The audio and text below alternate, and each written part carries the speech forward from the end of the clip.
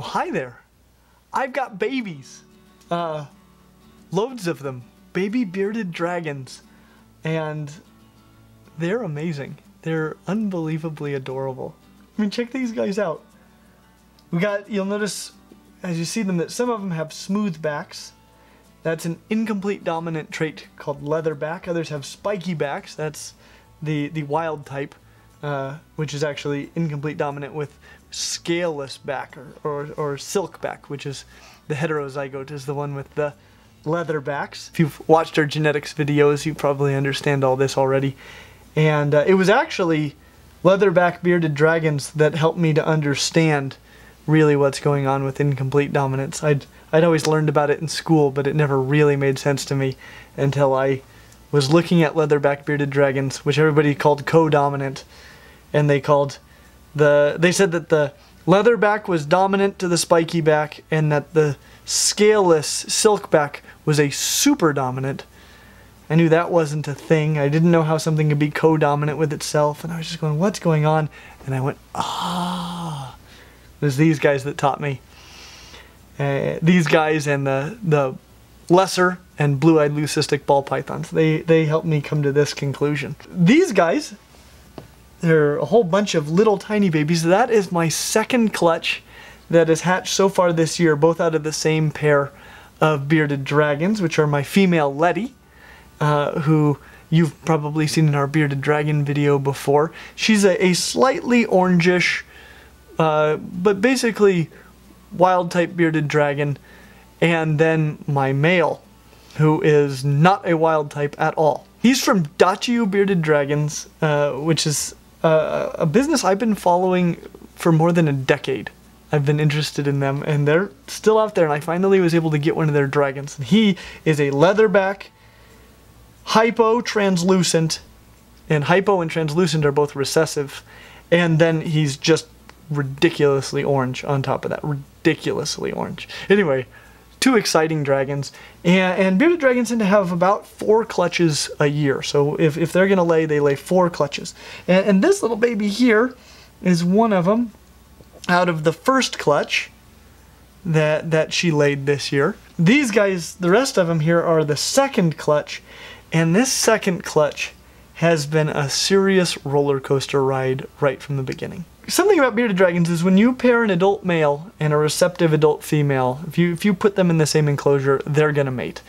In fact, this is the second time that I've had bearded dragons occur in my lifetime, but this is the first time I've bred them intentionally. Uh, one time, my friend Kevin and I were both doing a reptile program at his wife's school, and I had my male there and he had his female there, and I don't know when they got together. But a few months later, they had babies. And uh, that female, except for that contact with my male, had never been around a male, but my male was a leatherback and half the babies were leatherbacks. And so it was pretty clear who the daddy was. What I'm saying is it's not difficult to get male and female bearded dragons to mate with one another. You can tell that your female is getting ready to lay. First off, they get nice and plump and you can feel the little eggs in there. I am often not very good at like feeling it how many eggs are in a ball python or things like that. But with bearded dragons, it gets really easy. You can feel the eggs inside of their inside of their their abdominal cavity, and they make a lot of them, so it's easy. I knew that she was wanting to lay because she started digging a lot. She was trying to dig a nest somewhere in that enclosure, and uh, you know that the enclosure is not set up for her to dig a nest. So it becomes very important to put a lay box in. And the lay box for bearded dragons is basically a, a box like this, or or deeper, full of somewhat moist sand. And you know, as you might expect, uh, with her first clutch she promptly laid all of those eggs right next to the lay box. So uh, that worked out great. She laid 16 total eggs, but only seven of them wound up hatching. And, you know, uh, breeding a whole lot of things, uh, it is not uncommon for the first clutch that a female ever lays in her life to have a lot of unfertilized or, or just otherwise unsuccessful eggs in it. But there were seven, and this is one of those seven. And it hatched out about six or seven weeks ago now. And uh, they're all doing great. they're all doing great. Some of them have already been shipped off to their to their new forever homes, and they're wonderful, wonderful little dragons. I've really enjoyed them. But um, about a month later, she started digging again, and and so I put the lay box back in there. This time, she didn't lay them right next to the lay box. This time, she did something much worse, which is she laid them in the water bowl. And uh, this is something that can happen as a breeder. This this video, you know, I, I, I want to show you some really cool things that can happen, but I also want to tell you some of the terrible things that can happen. And one of the terrible things that can happen is that a female will lay her eggs in the water bowl and the eggs will drown. Now, that was what I feared had happened when I saw those eggs in the water bowl. I did get a little bit lucky though. Uh, they'd been digging around a lot that day and they had knocked a lot of the sand or the water out of the water bowl and a lot of sand into the water bowl. So the water bowl was full of really wet sand, but not really standing water, and the eggs weren't fully submerged. She laid 22 eggs in that water bowl, and and so I pulled them out and um, I put them in incubation media, just like I did with the first one. So I, I you don't really want to incubate them in sand necessarily. You want to incubate them in something like perlite or vermiculite or in, in my case I did some some soil with vermiculite in it and uh, something that'll maintain moisture and not mold over a couple of months while they're incubating at slightly elevated temperatures inside your incubator. And, so we incubated those eggs because there was a good chance they'd make it. And uh, I you know but I was worried. I was worried I'd lost the entire clutch. Uh, but of the 22 eggs that she laid in the water bowl 18 of them hatched. Uh, and actually, only three of them went bad, which, you know, that is something that happens with eggs. Is a certain number of them, like we said before, you know, aren't fertilized or, or just the the developing embryo dies before it's ready to hatch. Because one of the unfortunate things, we talked about this in our spider ball python video, but one of the unfortunate things about sexual reproduction is some of the babies just don't work out. So when you recombine genes, some of the combinations don't work. And three of the eggs died sometime early in development. And it was obvious they weren't anywhere close to hatching, but there was one egg left of the 18, well, of the 19 remaining eggs that hadn't hatched, but it looked good. And so we opened up the egg to see, you know, if the baby died, it had died very close to hatching. And, and we were able to position it so it could get its head out, but there were no signs of life at all. It, it definitely looked like it had died, but it was like, well, you know, if it's got its head out, then it has a chance. And I came back the next morning and looked at that egg, and uh, I mean, no real progress. It, it, it, looked like it had died. Uh, and so I was, I was planning to feed it to a monitor. That's that's usually what I do with the the uh, eggs that are obvious duds from the get-go. And you know, if monitors like kind of nasty stuff, and so you know this egg hadn't spoiled yet, and you know I didn't want to waste waste it, but um, the the baby moved just a tiny bit, and so for the first time I thought, hey, it's alive. Like you know, I, I when I when it first popped out of there, I thought this this baby's dead this baby's dead. But it was alive. And uh, so I put it back in the incubator and I gave it, I guess, another 24 hours. When I came back 24 hours later, it was most of the way out of the egg, but it looked dead. It looked like it had used up all of its energy getting to that point and it had died. And um, so I, again, it was monitor time, and when I picked it up, it opened one of its eyes. So I put it back in the incubator and I, I, gave it another day. And the next day I came in and it was all the way out of the egg, but it looked like it had died for sure. I picked it up and again it opened one of its eyes. And so I pulled it out and I thought, well, you know, it is it's now out of the egg and it definitely looked a little bit underdeveloped. Its eyes were very large, its body, they were closed most of the time. I mean, it, it was super weak, but it was alive. It was alive and I, I was going to give it a chance.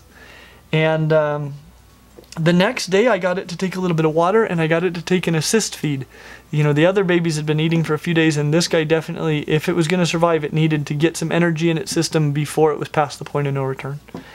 And it took that assist feed, and um, I mean, it, it started showing some signs of improvement. That was the first time that I reported to you about the guy that I named that day, and I named him Runty McGillicuddy.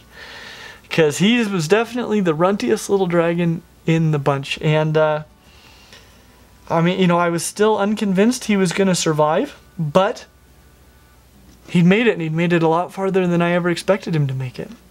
And the next day, I got him out again to make sure he was hydrated and, and to, to try another assist feed, and his energy level was higher. Uh, he still didn't look as good as any of the other dragons did several days prior when they had hatched. But he started to move, and, and at one point, I got a little video of him. He ran, which was the first time that I started to think, you know what? This little failure to thrive dragon, he might make it. This Runty McGillicuddy, he might make it. And, and I, I shared that with you guys, and I was really excited. But the next morning, I went down and he was weaker. Uh, you know, I was thinking, boy, if he keeps getting ready, getting better at this rate, he might he might make it. He might make it. But but the reality is that a lot of times there's more wrong with them than just not being strong enough to get out of the egg, and that's the reason they were not strong enough to get out of the egg. And generally speaking, those babies die inside the egg. But uh, he he started getting weaker instead of stronger. And and I can remember that night. That was Wednesday night. You know, I was thinking, I don't think. I don't think he's gonna make it. Uh, I honestly felt like I don't think he'll be alive in the morning. And uh, the next morning, I went down and. I mean, you know, he was still facing the right way, but you could just tell he was gone. Um, and, and he died he died. And um, I'd been sharing this with a lot of you guys on social media, and a lot of you had, had been upset with the fact that I was originally planning to feed him to a monitor lizard if he didn't make it. And so I, I did what you guys asked me to do, and I, I gave him a proper burial instead of feeding him to a monitor. It's, it's hard. It is hard. And that is probably the hardest part about breeding reptiles, or really anything, is just the fact that some of them aren't going to make it. Some of them come out and they're just not they're not a, a combination of genes that is going to make it. And you know, uh, you can do your best and some of them will pull through against all odds, but a lot of them fail to ever thrive. And, and that's something that I think a lot of people that don't breed reptiles are unaware of. You know, they don't know this happens. But this, this is the reason why breeders usually wait a few months or weeks at least before they'll sell you anything. They wait until things are feeding consistently because some animals will hatch out of the egg and they will never feed. They'll never even attempt to eat on their own. You know, you can assist feed them forever, but they'll never eat on their own. Some of them won't even assist feed well. You know, and, and you kind of want to make sure that if an animal dies, in in the care of somebody else that you know that it was it wasn't because it was one of the animals that just wasn't going to make it. You know you know it was well started and ready to go. And eh, because the reality is that some animals just don't have what it takes. And it is hard to watch that and you know and it, and it takes some getting used to and maybe you never quite get used to it. But I was really grateful for the the time I had with Runty McGillicuddy. He he was amazing and and he surprised me over and over and over again. And uh, I wish he could have made it, but it was a hard experience. Now the good experience is 18 of his brothers and sisters did make it and they're thriving and before that seven more. So he's got 25 siblings so far that have made it. And and that was just the second clutch. Uh, the third clutch amazingly was laid in the lay box. Uh, there were 20 good eggs. One of them was an obvious slug. It was just, it was soft and the wrong color, and, and so I fed that one to a monitor. The other 19, though, are all doing spectacularly well and are due to hatch pretty soon. These guys here are now two weeks old. They hatched two weeks ago today. In fact, yeah, it was exactly two weeks ago that I, I, I brought them home. And uh, this dragon here is just one month older, so he's about six or seven weeks. And I mean, look at the size difference between these two dragons. I cannot believe how fast these guys grow. It's amazing, and they they eat a lot. The fourth clutch is on deck. I can tell. I can feel those eggs inside the female. She's definitely gonna lay a fourth clutch. So uh, you know, she'll start digging soon, and it'll be lay box time again. Hopefully, she follows her her. Uh, performance on the third clutch and lays this one inside the lay box as well. That's what I'm hoping for. I think I I did a better job on the third clutch of getting the, the moisture to sand ratio just right. And I think that encouraged her to lay her eggs in the right place. And, uh, you know, we, we've already made this first clutch available to you guys. We're going to make the, the second clutch and, and the, probably the third and fourth as well available to you guys. There are a lot of people who've offered to give them excellent homes. And, you know, I've, I've created an entire Facebook page called Clint's Available Reptiles for those of you that are interested. So, you know, check there for baby bearded dragons. Also, I'm going to have ball pythons and crested geckos and a lot of other cool things this year. So just be checking in there. If a, if a Clint's Reptiles reptile is the right pet reptile for you, um, for the first time ever, they're going to be available to you. Thank you guys for coming with me on this journey. And I, I really appreciate those of you that had comforting words at the time when uh, you know I was I was trying to help Runty McGillicuddy make it, and and and when it became obvious that he wouldn't, and when we lost him, you know that it was really nice to have your guys' support and just how kind you guys all were about it and how understanding, because that's that's one of the things that I fear that we don't understand often in the reptile community is that animals do die sometimes, you know, and sometimes it's completely unavoidable, like when we breed them you know, it, it it's much worse than it, when it's a mistake, you know, and, and sometimes we do make mistakes and, and people really beat themselves up about it. This channel exists hopefully to help you avoid making as many mistakes as possible. But I'm, I'm grateful that we have a community where we can support each other instead of tearing each other down. And so I'm thankful for each and every one of you guys. Thank you. Thank you for being there for me. Thank you for being there for each other. Thank you for teaching each other in a kind and understanding way instead of tearing each other down. None of us know everything. We all are, are learning. We all are going to make mistakes, and, and let's learn together. So, uh, as always, like and subscribe. Uh, make sure to click the little bell so you can get notifications. Maybe, maybe we'll do some updates on these guys and other animals we produce. If you're wondering if a, a bearded dragon is the right pet reptile for you, make sure you check out our video on bearded dragons because they're certainly not for everyone. But, you know, if you have the budget and the space and the time for a bearded dragon, they're just amazing pet reptiles. And we hope to see you real soon. Getting bearded dragons. Well, you're a grumpy. You're a grumpy little guy. He's this guy here. He's just getting to the age where he's old enough to be grumpy. The little ones, uh, they don't even think about being grumpy at all. But he's just old enough to be grumpy, and because I've got so many of them, I haven't been handling him a lot, and so he's not used to it. Plus, he just had a car ride it's a little bit of an intense day, so we'll we'll be understanding it. This grumpy little dude, but he's a grumpy little dude, aren't you? Aren't you? Look at these handfuls of baby dragons. Look at them, they're so cute. Oh my god, they are really cute. I love them.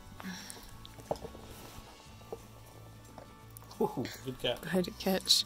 I think I got that on film. Was it still filming?